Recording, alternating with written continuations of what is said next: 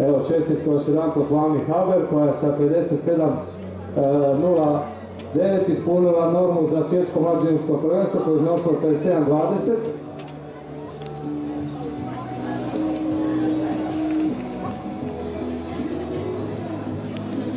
Agram 2 i Agram 1, dakle Orlović, Blečić, Bagić, Ćurčić, Šavačić, Ružić Radoš Mešić, Topovi, Topić i Mas tamo trči u stazi 5.